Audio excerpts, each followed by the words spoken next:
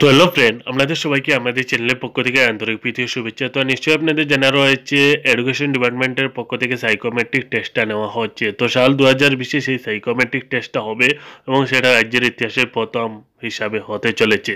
তো সাইকোমেট্রিক টেস্টটা কি, কীভাবে আপনাদের আবেদন করতে হবে পুরোপুরি ভিডিও মাধ্যমে আমি আপনাদেরকে একটু শর্টকাটে জানিয়ে দেওয়ার চেষ্টা করব।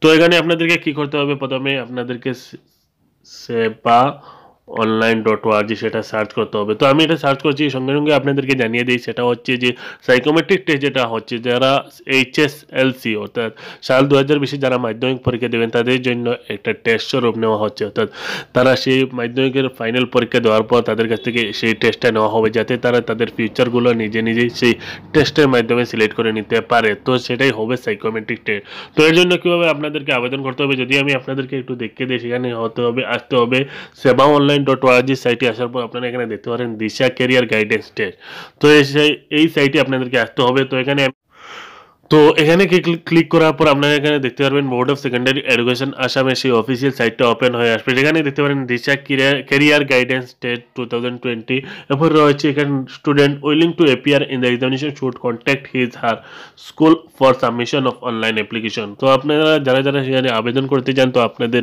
স্কুলের হেড টিচার যারা রয়েছেন, তাদের কাছে আপনাদেরকে কন্ট্যাক্ট করতে হবে। তো সেই তারিখটা সেখানে সাত তারিখ পর্যন্ত রাখা হয়েছে। তো আপনাদেরকে রিকোয়েস্ট করব সবাই, সেই সাইকোমেট্রিক টেস্টে অ্যাটেন্ড হওয়ার বা পার্টিসিপেট করার চেষ্টা করবেন। তো এরপর রয়েছে head of the institution to use log in ID and password same as the use in H S L C H S H examination two thousand twenty তো এখানে তারা এসে স্কুলের হেড যারা রয়েছে, তারাই সেখানে লগ ইন করে সেগুলো আবেদন করতে পারবে। তো আমি রিকোয়েস্ট করব আপনারা সেই সেকমেন্টেড টেস্টে অ্যাটেন্ড হওয়ার চেষ্টা করবেন ওই সেটার জন্য আবেদন করার চেষ্টা করবেন। তো বেশ কিছু বলার প্রয়োজন, একটু শর্টকাটে আপনাদেরকে ইনফরমেশন দিলাম যাতে আপনারা সবাই জানতে পারেন। ধন্যবাদ।